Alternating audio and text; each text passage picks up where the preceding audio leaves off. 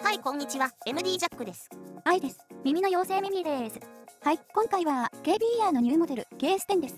えーと、これはハイブリッドモデルでしょ？片側5ドライバーで左右合計のドライバー数は10個で KS10 だよねその通りよ。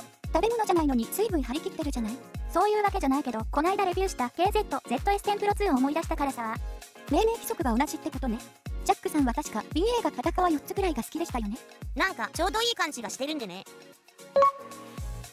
ドライバーの話題が最初に出たからドライバーから見てみようか 10mm のダイナミックドライバーは定番といった感じでカーボンナノチューブの複合ダイヤフラムなんだねダイナミックドライバーの横に広域用の BA が3つノズル部内に超広域用が1つという配置 BA はオールカスタムなんだね。配置は一般的みたい。そうだね価格は5000から7000円台。カラガリは4色。Amazon で確認できたのはシルバーとブルーの2色のようね。外観はご覧の通り。フェイスプレートが冷兵器、レースをデザイン化したもので、アルミニウム合金の素材と相まって、とてもシャープな仕上がりです。フェイスプレートのこのマークで L と R の判別がつくのは珍しいね。そうね。サイズは一般的で、重さは片側実測 4.7g と軽めです。では、ここからは波形を見ながら進めます。まず、2種類のバンドルイヤーチップの波形です。5から6キロ付近の減衰が大きめで高域の抜けに物足りなさを感じたんで音収録と試聴にはセドナイヤーフィットライトを使うことにした今回測定したイヤーチップ全部の中でわずかではあるけどこの帯域の減衰が一番少なかったのが理由サウンドチェックの比較モデルは KZ-ZS10 Pro 2のチューニングスイッチ設定1110と KBER が過去に発売しているロビンどちらも 1DD プラス 4BA で KS10 と同じドライバー構成音調整の基準は KS10 ねはい、了解です。ではサウンドチェックいきましょう。音量上がります。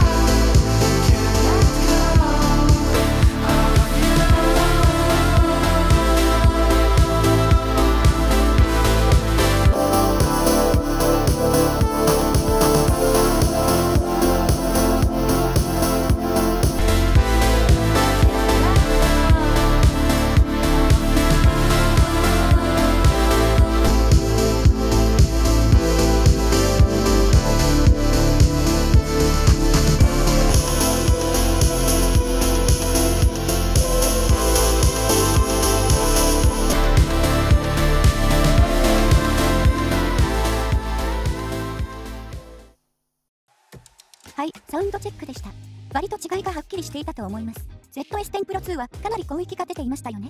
そうだね4.5キロ以上の差はもともとかなりあってさらに KS10 を基準として比較した音だから収録音だと ZS10 Pro 2の広域が目立つのは仕方ないか実機でも ZS10 Pro 2の広域は目立つけどね ZS10 Pro 2の低域はチューニングスイッチの設定を低域マックスにしても KS10 ほど出ていませんねそうだね。広域好きな人向けに思えるね。ロビンは低域が結構重かったように思うんだけどロビンの特徴だね。知っている人はそう認識していると思う。この大域の出方に特徴あるよね。KS10 に比べレベル差はそれほどないように見えても50から 500Hz ぐらいまでと広範囲にわたる差なんで聴覚上の差は結構大きい。ロビンは低域の量感はあるけどちょっともわっとした感じ。さらに中広域以上は KS10 より出てないこともあって低域重視なモデルということになるね。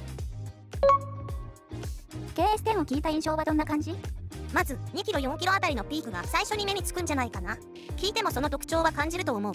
そうですね。癖のある感じに思えるんですが。そうだな。2から5キロあたりの代表的な出方のパターンだと思う。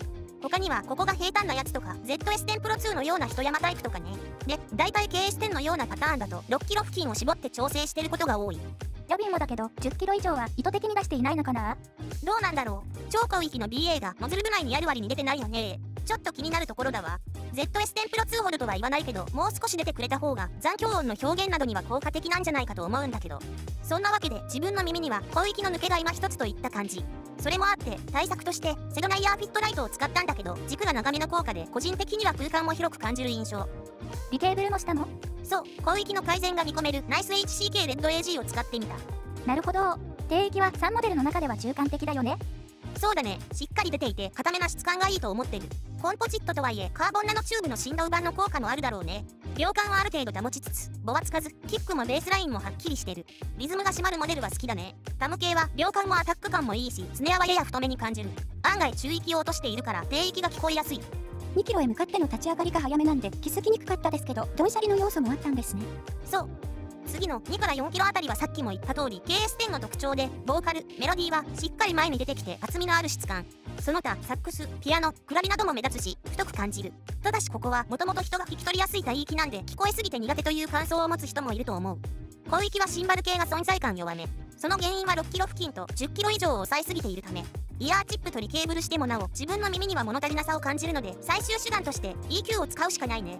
こんなセッティングにしてみた。ああ効果あるね。シンバル前に出てきた？だよね。ただ2から4キロを少し落としてやらないとコーティのバランス崩れ気味になるので気をつけたいところ。細かく調整するとこんな風にはなるけど6キロ付近をちょっと持ち上げる程度で十分な気はする。なるほど。傾向としては好き嫌いの分かれる音ということですかね。サウンドステージは広く感じましたが。セドナイヤーフィットライトを使ったんで余計に広く感じたね。軸が普通の長さのものだと特別広いってわけでもなかったな。まとめると低域が高質でグッドドンシャリの要素あり中広域に特徴ありボーカル向き。広域は絞り気味で抜けにやや長あり好き嫌いの分かれる音。そんな印象でしょうか？そうだな。そんなところだね。